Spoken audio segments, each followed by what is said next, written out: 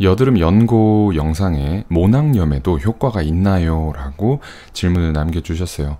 그래서 이제 모낭염 연고에 대해서 알려드리려고 하는데 여드름 연고를 모낭염에 사용하는 경우에도 모낭염이 개선되는 경우도 있어요. 하지만 모낭염에는 모낭염 전용 연고를 사용해 주시는 것이 가장 좋습니다. 왜냐하면 모낭염 중에 항생제 성분이 필요한 모낭염이 있을 수 있는데 왜냐하면 모낭염 중의 원인을 알아보면 포도상구균에 의해서 유발될 수 있는 모낭염이 많습니다.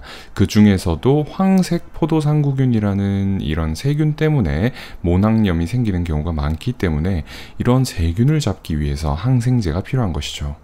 무피로신이라는 항생제 성분을 함유하고 있는 모낭염 연고를 사용하시면 돼요.